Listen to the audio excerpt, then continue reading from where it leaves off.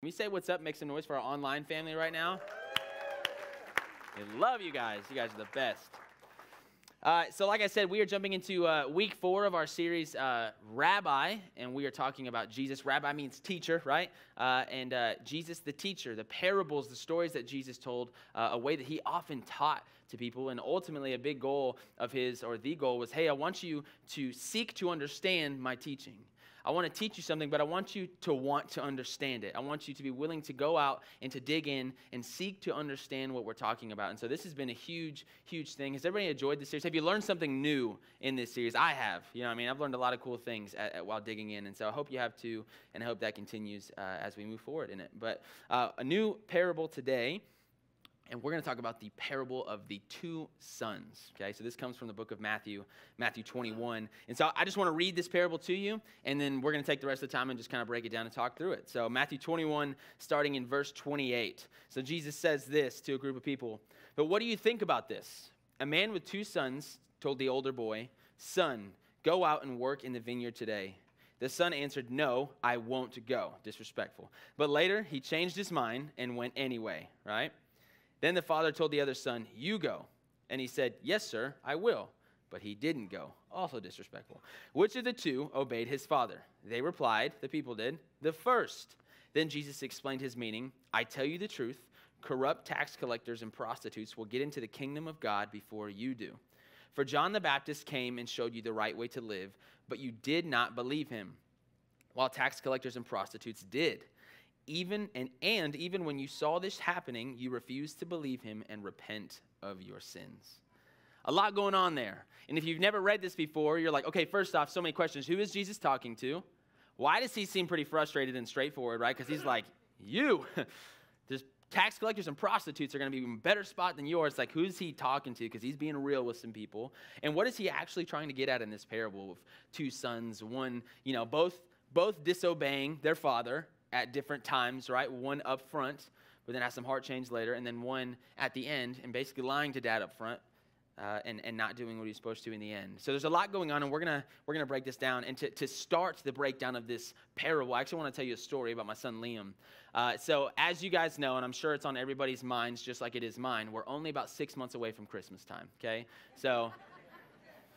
I'm not the only one, right? Yeah, you guys are like, you're sick. So, we're getting there, right? And counting down the days. But um, made me think as I was prepping for this sermon of this last Christmas. There was a video game that Liam wanted. We have a, a Switch, a Nintendo Switch at home, and Liam loves it. You know, he's it's his. I mean, it's ours, but he's always like, it's mine. You know, it's like, all right. Uh, and so he plays the Switch all the time. Well, there was a game he wanted for the Switch, and so we got him that game uh, for a Christmas gift. Well, we, because we're super kind parents, were like, dude, we should take this little chip and put it in a giant box. You know what I mean? And like, you're like, that's awful. Yeah, right? So we took this itty bitty game and we put it in a little box. We thought it would be fun for him to be like, yo, what is it? And then dig in and find out it's this small game. Just kind of confuse him. The more I say it, the more I realize we're terrible parents. But so we did that. We put the game, this itty bitty game, in this big box, right? And so it was it was cute and it was funny to see him during Christmas kind of walk by, you know, like, what is it? And just be like, looking at it, thinking about his, uh, his Christmas wish list and being like, what did I ask for that was that big? like just trying to figure it out, just thinking through it, you know, maybe shaking it. We don't know. You know that we do that. I remember doing that when I was a kid, but trying to figure out what it is. Well, fast forward to Christmas, he opens it up and he opens it up and he opens it up and it gets smaller and smaller. And he's like, Why'd you use a big box? You know, and it's just this little game, right? And we're like, we thought it would be funnier than it actually is, dude. But yeah, Merry Christmas. So The reason I tell you that uh, is because I think it brings up a, a, good point about something that we do. Uh, Liam, as he spent that Christmas season looking at that box, he judged the box by its size. He looked at a big box and he made the assumption if it's a big box, there must be a big, great gift on the inside. You get where I'm going? How many times do we judge a book by its cover? How many times do we assume that the exterior must match what's inside? Backwards. The interior must match what's happening outside, right? We do that. We assume. And you know what they say about assuming? Don't, right? Period, right? But we do this all the time. We look at the outside and go, this must be that. This must be what's my circumstance, my situation. This is what must be going on. I don't have all the details, but if I was a smart person, I could tell you this, maybe about my situation maybe about those people, maybe about myself. Here's what's going on with me. Maybe about the way things work, maybe about the way of the world and life itself, maybe even about this walk with Jesus. Here's how God works. Now we're getting crazy, huh? But we think we know something or someone or, or a situation or a way of life, and we judge the book by its cover. We, we assume based on our own knowledge, and the plain fact is we are often very, very, very wrong. Right? What's inside does not match what was going on outside very often. And we're left kind of shocked and shook and going, What? What just happened here? This doesn't make sense, and I'm a little bit confused. So, all that to say, I think this picture of Liam uh, paints a good picture of what is actually going on or what Jesus is, is trying to explain in this parable of the two sons. So, what I want to do is I want to take some time to focus on the second son, okay? The second son, the one who dad came to and said, Hey, go work out in the vineyard. And he said, You got it, dad. And he really didn't. Fingers crossed behind his back, you know? He stayed and didn't go do the work that, God, that dad had called him to. I think that this is a picture of what's going on. That on the outside, he's like, Yes, dad, I'll be obedient. I'll respect you. I'll obey you. I'm a good son. But on the inside, something was off. Because did he go? No. Which shows that on the inside, right, the gift on the inside did not match the box on the outside. So, just to give a little context, real quick, uh, so that we can better understand this parable, uh, Jesus gives this, and, and uh, if you read verses 23 to 27 before the previous passage, still in Matthew 21, there's some good context given to who he's talking to, why he's talking to. And so we're going to walk through that real quick. Um, but what's going on here is he's, uh, he's teaching in the temple. Okay, Jesus is teaching in the temple to a bunch of people, and while he's teaching, his authority is questioned and challenged right? So you've got these religious leaders who come up, these leading priests and elders, and, and they ask him, Hey, Jesus, why, why do you preach this stuff?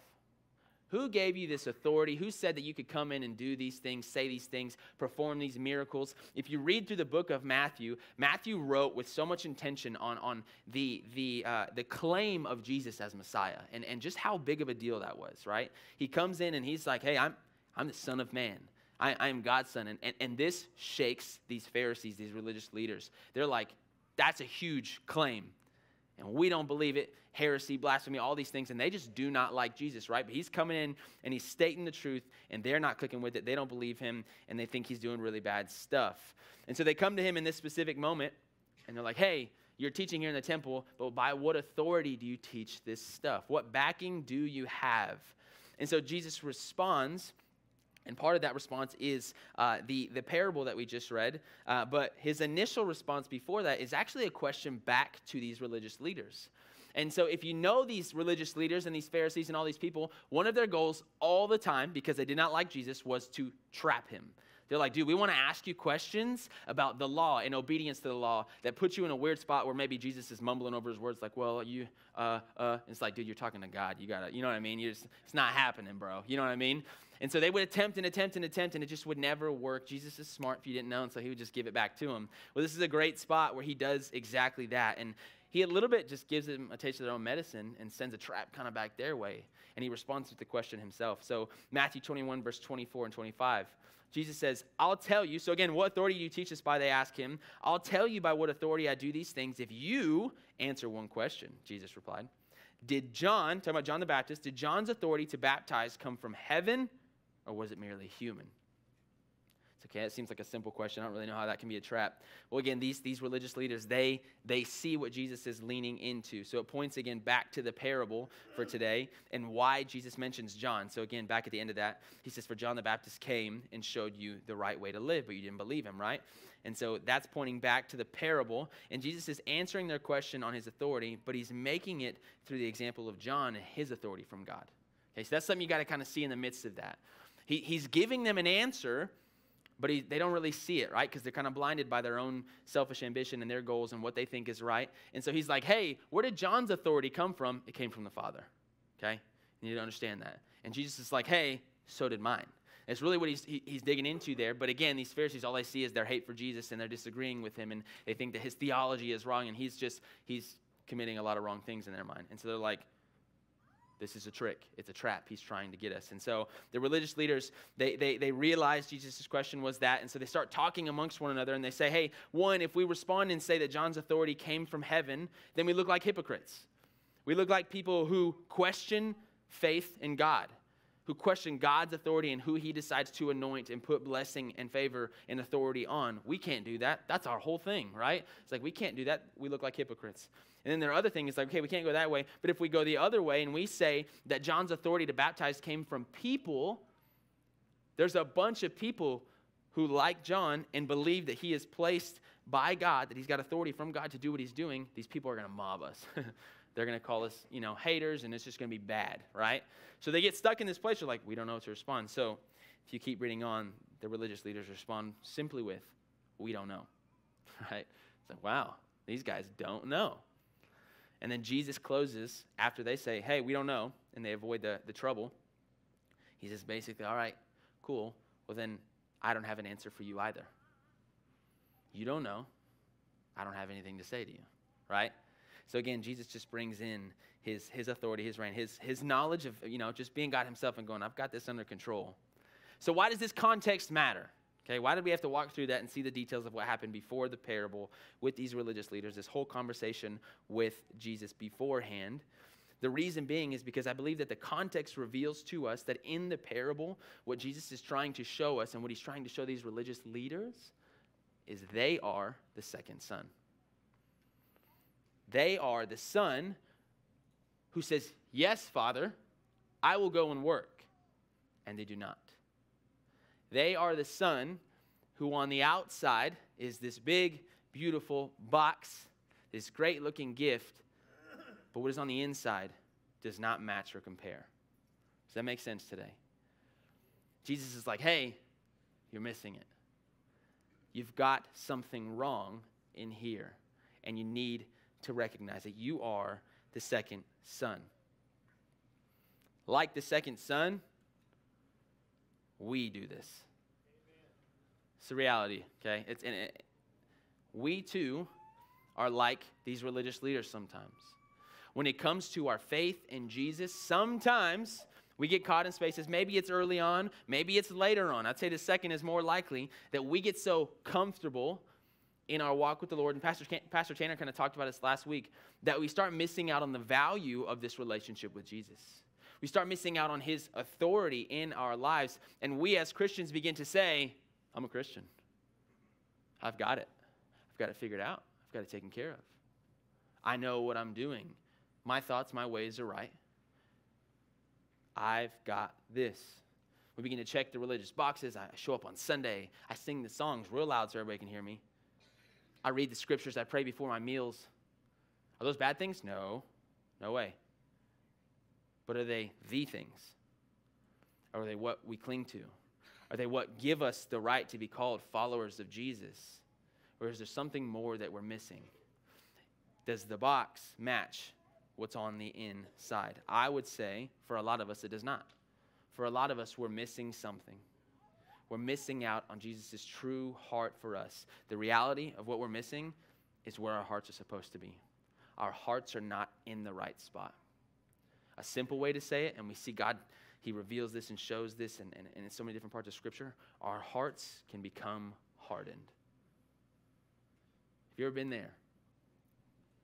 Has your heart ever been hardened? Have you ever met somebody who just thinks that they've got it so down that when God comes in and he brings correction or difference than what they expected or what they had hoped for, it's like, no, no, no, no. This isn't the way, Lord. And he's like, who decides that, you or me? Has your heart ever been hardened like that? It's a very real thing today. This isn't just some old Jewish law back in the day thing. This is today. This happens. And it's dangerous. It's extremely dangerous. We are missing something. Our claims of our faith do not match our character. Who we are, who we say we are, does not match who God has actually called us to be. And it's dangerous. So, why does this happen? Why do we get to this place where The claims don't match the character, and all this is messed up. And I don't know about you guys, but I know for me that, it, that there's been moments where my, and seasons where my heart has felt hardened towards the Lord. And whenever the Lord brings correction, instead of accepting it and receiving it, I become defensive and I become hostile. Right? Like, no, no, no, that, that can't be right. I know this, I know that. This doesn't line up with what I think it should be. And I get defensive and I'm wondering and I question and I, I get a little frustrated and I'm not willing to let the Lord speak. Maybe that's just me, but it's a real thing. So, why do we do this? Why do we respond in such a way like the second son? And how do we get to that place, really, is the question. I think there's, I want to give you three ways that I think that happens. Number one, again, we get to a hardened heart because we think we know best. What the Lord is bringing to us might, might not line up with what we thought the truth was. Does that make sense? Because we have a concept of what we think truth is. Even if we've grown up in, in, in church, even on a passage of scripture that we read a hundred times, if it has not been submitted to the Lord, we think we know a truth. Right? And we'll cling to that. It's a very real thing. So we think we know best. The second reason, second way we get there, we get a hardened heart because what the Lord calls us to when He approaches us with correction or change or a newness, like Jesus did with these religious leaders, we don't like it because it's challenging. Right? God calls us to growth. God calls us to change. God calls us to different. Difference means uncomfortability. Change means uncomfortability. I don't know about y'all. I don't like uncomfortability. I can't even wear a shirt for a day that's too tight. You know what I'm saying? It just gets weird, folks. We don't like uncomfortability. And so when God says, hey, we've got to enter into this place this season, and it's going to be kind of challenging, let's do it. You're like, mm, I like easy, Lord. I like my bubble. I like my box. I like comfortable.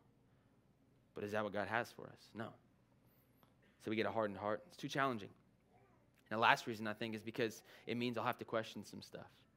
Again, same concept as comfortable, but maybe we've been taught things growing up. People said, This is a fact. This is the way it is. This is the truth. And maybe as we've grown up, we've started to hear other things, and other people claim, No, this is the truth. And then we've heard other people claim, No, no, no, this is the truth. And so we have a responsibility as followers of Jesus to go, okay, they said that's the truth. They said that's the truth. They said that's the truth. What's the truth? God, what is the actual truth, Lord? Reveal to me what the truth is. And that's hard because sometimes we like our truth, right? We like the comfortable. We like what we've clung to, and, and, and we feel confident in what we've said is the way. And when God says, actually, it's not, that's hard. And it means we have to relearn. It means the old dog has to be taught new tricks. And that's exactly. Somebody barked, it's good. That's hard. Amen? And we get hardened hearts. Our claims do not match the character, and that's not it. So then, what are we supposed to be doing? Where are we supposed to be? What is our heart supposed to look like? Think back to the two sons again in this parable, right? Let me just say this both sons were wrong. Both sons are in the wrong. Both sons disobeyed the father, right? You're like, well, the first one got it right at the end, 100%. So we should be like the first one. Yes and no, right? The goal should not be to disobey the father until the very end and say, all right, God, I'm ready. You know what I mean? I'm ready to do it right now, Lord. No, no, no, no. The goal should be, be- to be the best of both. That's the goal, right? Does not mean we will perfectly do it or get it right every single time. But our goal should be I will trust the Father and I will obey the Father from beginning to end. That's what I want to do. I want to be in right standing with the Lord from the very get go to the very end. That should be the goal. That should be the prize we're striving towards. And this is huge. Don't get me wrong again. The fact that, this, that the first son, that, that his life was changed and he, and he went into the field and obeyed the Father, praise God. That's huge. Okay? I don't mean to make that less significant or less important. That is, that is a big deal. But it should not be the ultimate goal for all of us. The whole thing should be the goal to truly, willingly trust Jesus all the way through. So, what does it take to do that then, to be the best of both? Matthew 16, verses 24 through 25. This is Jesus talking to disciples. Then Jesus said to his disciples, Whoever wants to be my disciple must deny themselves and take up their cross and follow me. We've heard this. For whoever wants to save their life will lose it, but whoever loses their life for me will find it. Amen. What's he talking about here? Jesus is talking about a submitted heart, a surrendered life. To get the best of both and to be where He calls us, we have to say, Your way. I have to say, God, my life is not my own. I pick up your cross, Lord. I follow you and your way. So when you come in and tell me we got to do this, we got to do that, I say, Yes, Father, from the very beginning. It's not about me. It's not about my desires. Not that God cares about me. Don't hear. Don't don't miss that. He cares about the, the things on my heart and all that stuff. But He's got what's best. And so I go, Lord, here it is. Here's who I am. Here's all that I am. I will lose my life so that I can truly find true life in you. A submitted heart. That's what it takes. To be the best of both, we have to have a submitted heart. So, our big question for today, then, and quickly I just want to run through this, is what does it look like? What does a submitted heart look like? A heart that says, hey, I, I don't want to be uh, in disobedience like either one of the sons. Ultimately, I do want to end up where the first one landed, but I want to walk this out thoroughly, Jesus, in the way you've called me to. So, what does my heart need to look like? My submitted heart. Three things so that I can avoid being the big promising box with a gift that doesn't match inside. Number one, a submitted heart is repentant. A submitted heart is repentant. Proverbs 28 13 says, People who conceal their sins will not prosper. If they confess and turn from them, they will receive mercy. This is hard. Right? We, as followers of Jesus, are called to repent of our sins. And I'll just be real, okay? I, I think, especially when we're a little bit younger and we're growing up, the word repent feels like a gross word to us. We don't like it. We don't like to hear it. You need to repent of your sins. It feels churchy, it feels religious. It is a powerful and beautiful word is a big deal.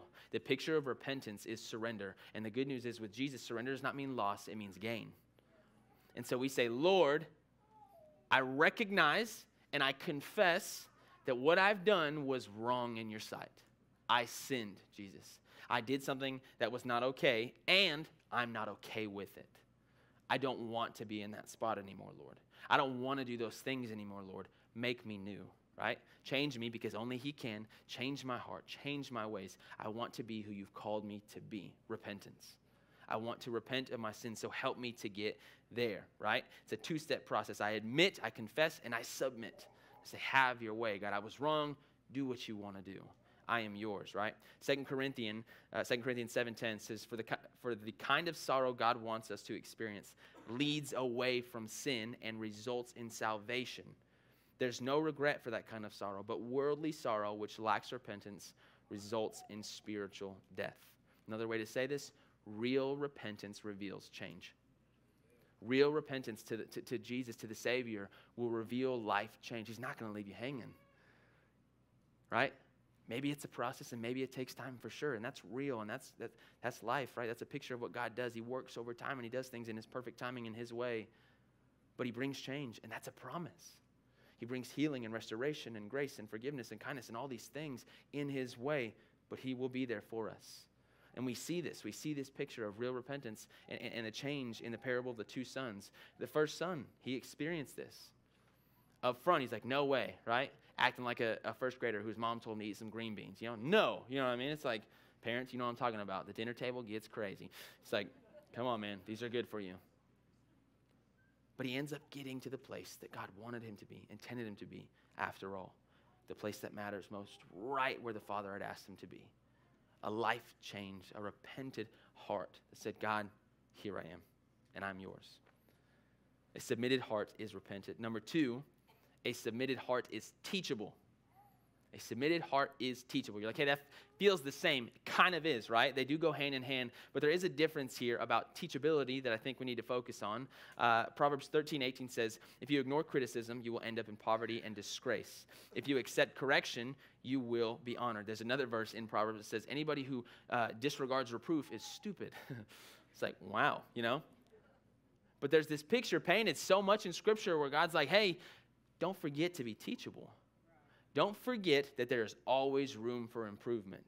Again, not perfection. He's not expecting perfection, but we cannot get comfortable and just go, I'm good enough. I've got it down enough, right? I'm a good enough Christian. Our God never stops. He never stops moving, never stops growing, never stops bringing change. He will always be perfect in the same, but He's got different for us. He's got good for us. And so He calls us to this. Says, enter into this. I've got more. I've got more. I've got more. Trust me in this process. And that's a challenge for us, right? To see and believe that there's always room for improvement. Again, we like the comfortable space. We like the easy space. It says this is good enough. But that's not how our God works. right? And this doesn't, teachability versus, versus this repentance picture, teachability is something that we, we can learn in, in, in order to, to avoid making a mistake, right? To say, how do I get better so I don't end up in that spot where I'm going, I messed up? Teach me, Lord. Make me, make me new. Use other people in my life to teach me, correction, all this kind of good stuff that I need that is healthy for me.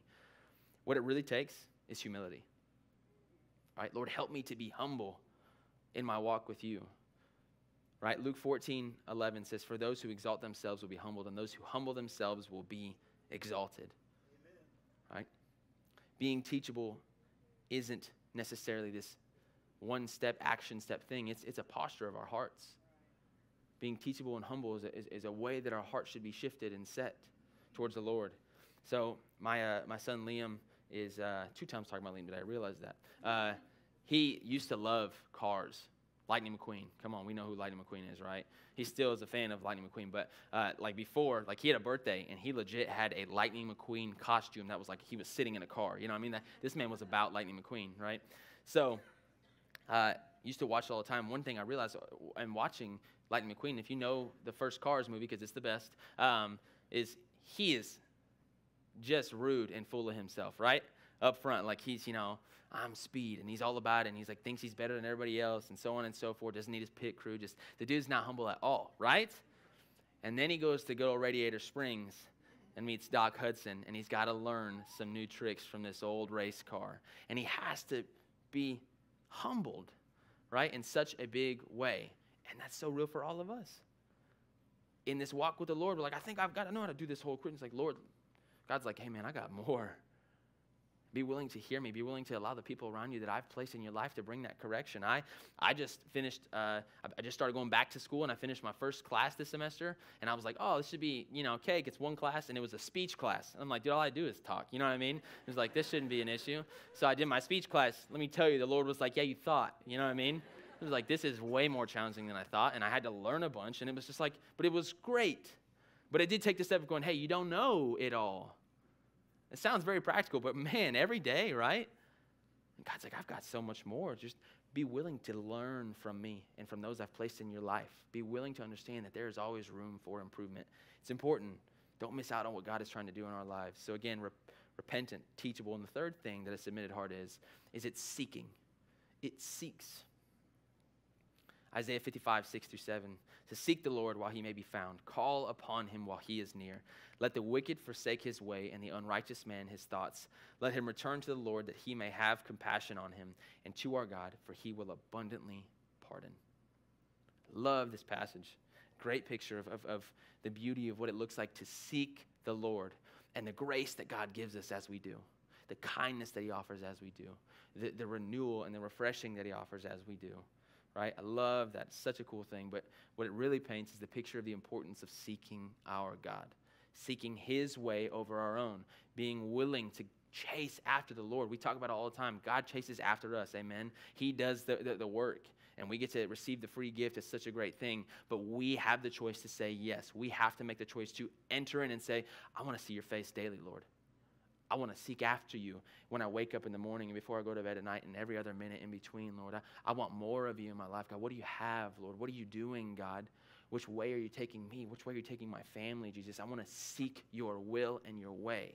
I don't just sit and wait necessarily, but I say, What do you have, Lord?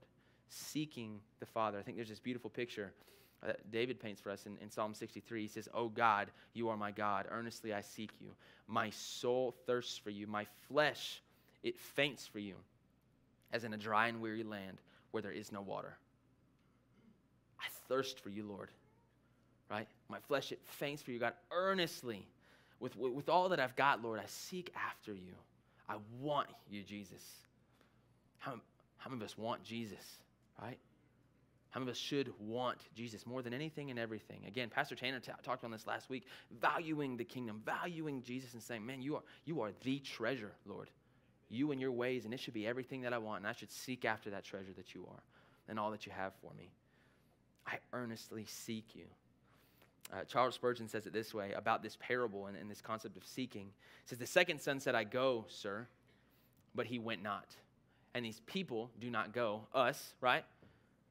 They talk of repenting, but they do not repent. They speak of believing, but they never believe. They think of submitting to God, but they have not submitted themselves to Him yet. They say it is time they broke up the fallow ground, right? The words, the promises, the big box, and sought the Lord, but they do not seek Him.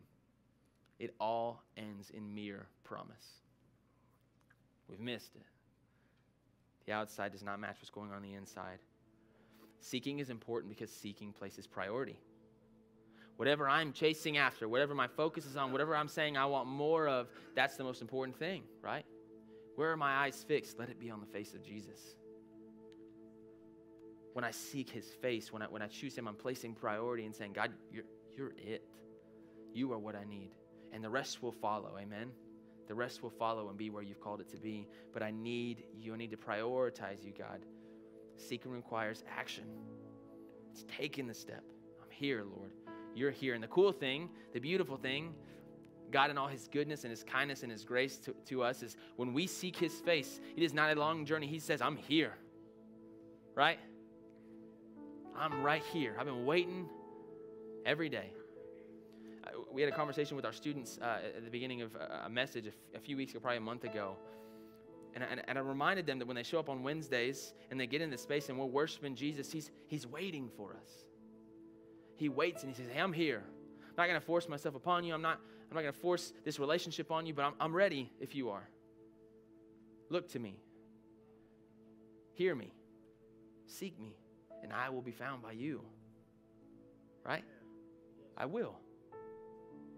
That's a promise, which we have to seek. We have to take that step. One last thing before we get ready to be done. Um, question for you. Question for all of us that I hope we take and we ponder on and think on throughout this week Does the box match the gift? Does what's going on on the outside, does it compare and is it equal to what's happening on the inside? Does it represent the trueness of what's on the inside?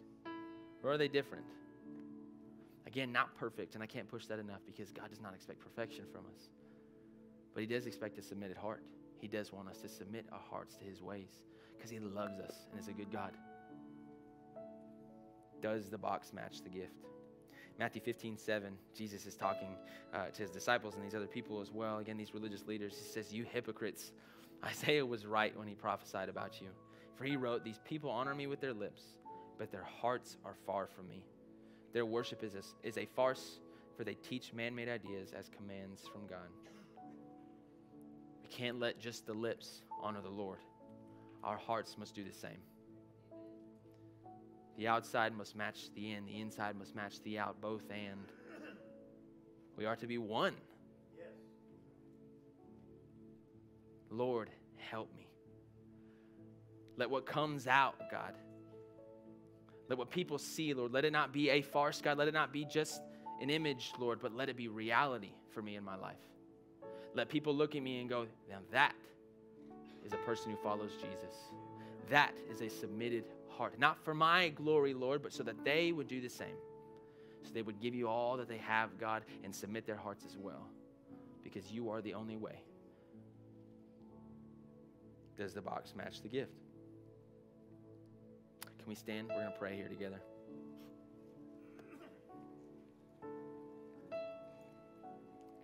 I just want to remind you of this real quick um, before we close out in this in this parable again you've got our two sons and we talked about how both sons um, they both did wrong. Amen? They both disobeyed the father. Different times and again the first one. Praise god. And i do want to focus on that first one for a second. The first son while he disobeyed up front ultimately found what was most valuable. He sought the lord. And I, and I think about that space from when he first said no to the father and the ending where he, he ultimately went out in the field and he worked and all that happened in between, we can't jump over that. Because what happened in between is he found the amazing grace of Jesus. What happened in between is he invited God in and he allowed God to begin working on him, changing him, growing him. He started working towards this, this submitted heart, not a work in his own way, but letting God come in and do open heart surgery, if you will, right? And I think it's so important for, for all of us but specifically, I think there's some of us to, to know this that it's not too late. Maybe you're in here and you've been coming to church for a while and, and you're going through the motions and you got church down. You know what I mean? That you can tell that guy goes to church. That's great. But is your heart submitted? Is your heart submitted? And I want you to know that God's grace is so big and so great that if you're missing out or if you feel like you've missed it, if you're coming to the realization and God is letting you know, hey, you, have missed it, your heart has been hardened, and, and maybe the relationship with me is not what you thought it was and something needs to change, there is no shame right now. There is no shame in Jesus. He brings no shame when we come to Him, when we receive correction. Only grace, only truth, only favor and love, and all these things in a perfect way that help us to become who we're called to be. And so I just want to encourage you give that to the Lord today and say, God, is there something in me? Have I missed it, Lord? Have I missed this? Have I been the hardened heart person who said, I'll do it, Lord? But did I ever really submit my heart to you and say, Have your way?